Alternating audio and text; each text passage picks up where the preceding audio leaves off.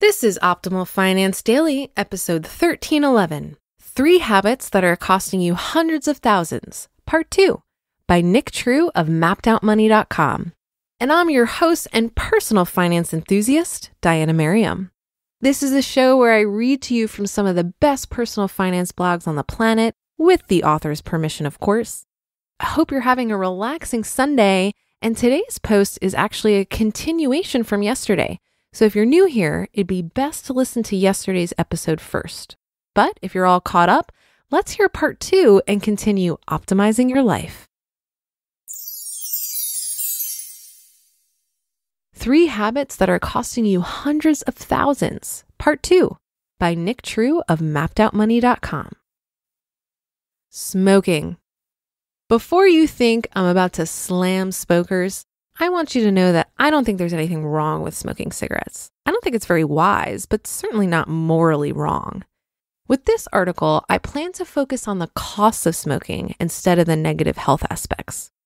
I'm not even going to discuss the fact that 480,000 deaths every year in the US are caused by smoking, about one in five deaths annually or that on average, smokers die 10 years earlier than non smokers. No, I promise. I'm just going to discuss the money aspects of smoking.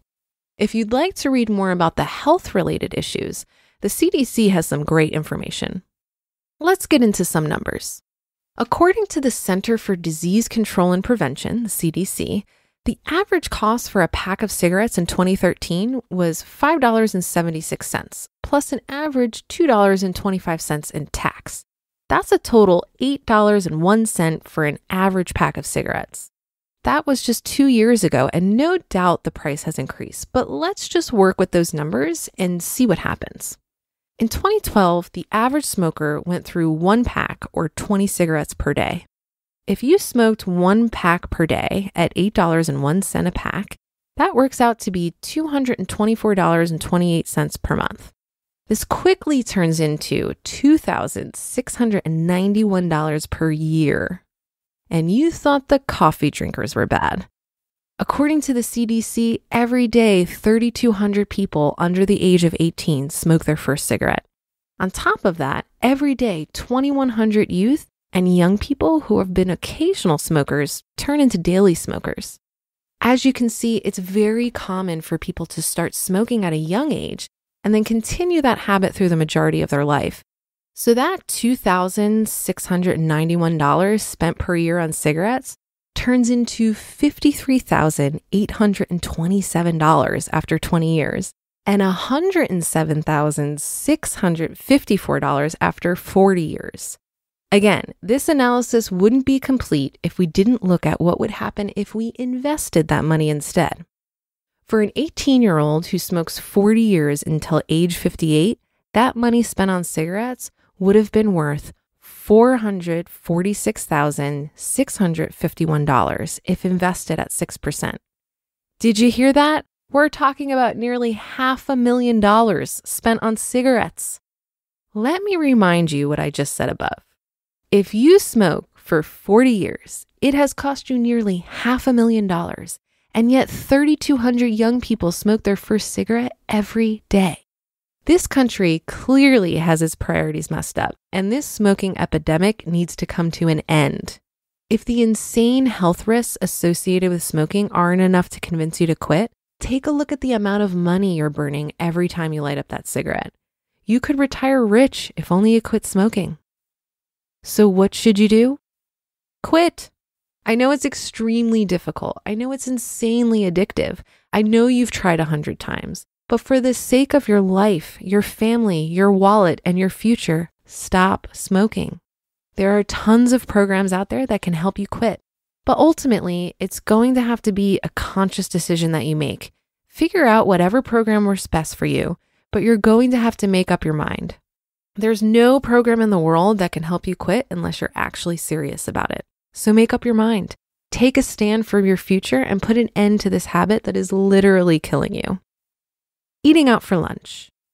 This one is extremely tough, especially if everyone else at work or school loves to go out to eat. The problem is, just like smoking or coffee, the little bit spent on lunch doesn't seem to be very much at the time. I'm not sure about your friends and coworkers, but some guys in my office go out to eat four and five days a week. I mean, the occasional lunch out of the office isn't a big deal, but this daily cost can really add up. Let's assume that you go out to eat for lunch three days a week. I'm not sure about how it is where you live, but in Chattanooga, it's extremely difficult to eat lunch for less than $7. So, three times a week at $7 each time works out to $21 per week. Now, compare that to your work. How much money do you make an hour? Yet you're spending $21 to eat lunch three days a week? How much longer do you have to spend at work just to make up for the cost of lunch? Let's keep going. At this rate, you'll spend $84 a month and $1,008 per year. And that's not even getting lunch every day, it's just three meals a week. Once again, if we look at what that money would do if you invested it at 6%, over 40 years, it turns into $167,285. I mean, I think I've made my point. Do you really want to spend that much money on eating just three meals a week with your coworkers? Maybe you do, and if so, that's okay. Just make sure you've considered how much it costs and work it into your budget. But for the vast majority of us who go out to eat for lunch out of habit, I think it would really do us a lot of good to consider how much it really costs. So, what should you do? Brown bag it. That's right, take your lunch from home. My wife and I take our own lunch every single day. This saves us a ton of money, and I can later use that to go out to eat with her. A typical lunch for me consists of a ham and cheese sandwich, a banana, and a small bag of my favorite Wild Roots Forest Berry Trail Mix. Since we get great deals on groceries at our local Sam's, this works out to be about $2.06 for that meal. Again, this is way cheaper than eating out. I would much rather spend that money going out with my wife or friends on the weekend than burning it on lunch at the office. What habits are stealing your money? I'm not saying that you should quit doing all the things you like. The main point I'm trying to get across is that you should really stop and consider how much your habits actually cost. Oftentimes, these habits are sucking more from our wallets than we think.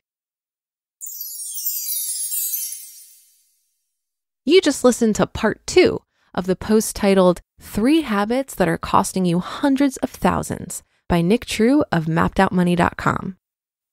So, Nick tackled a tough one there on the smoking. In many cases, when it comes to daily spending, there are often ways you can be more efficient about getting your needs met where you don't actually have to give the whole thing up, but maybe just go about it in a more resourceful way. When it comes to smoking, though, there really is no way around it. You gotta give it up. But I wonder if there's a replacement for that behavior that provides similar benefits. So maybe you're smoking to take a 10 minute break from work. Could you take a 10 minute walk instead, or maybe a 10 minute meditation? I'm not sure, but it might be worth a try. I definitely agree with brown bagging the lunch, though. Not only are you saving money, but you could also be saving yourself from decision fatigue and making an unhealthy choice about what to eat. I don't know about you, but in the middle of the workday, especially a stressful one, I could be more likely to chow down on some fried food versus a salad. But if I packed that salad, I remove the temptation of eating my feelings. I'm just going to eat the salad. And that's another episode and weekend for Optimal Finance Daily. Thank you for your support and for listening every day. I'll be back with more posts for you on Monday. So have a great rest of your weekend, and I'll catch you tomorrow where your optimal life awaits.